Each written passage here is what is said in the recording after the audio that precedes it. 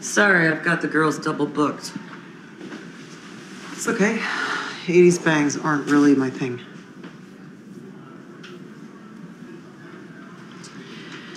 Bye, Gail. Give us a few minutes.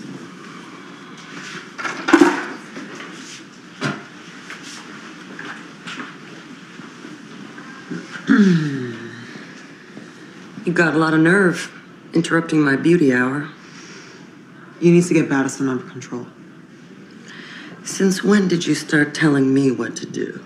Since your minion became hell-bent on stealing Piper's date. So Badison's a shit stirrer. She's like the fucking handheld blender of shit stirring.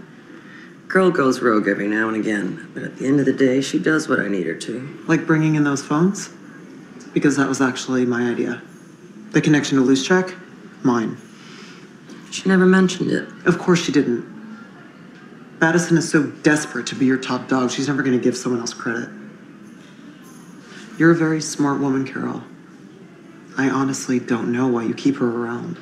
Maybe because she's so desperate to stay my top dog. And she's got her moves. Please, I had better moves in the eighth grade. By the time I was 21, I was moving 50 kilos of black tar through three continents. You still got connections. That depends. You gonna keep Addison from giving Piper more time? You must really love this girl. Yeah, I do. I do this for you. It means you're working for me now. Then I guess we have a deal.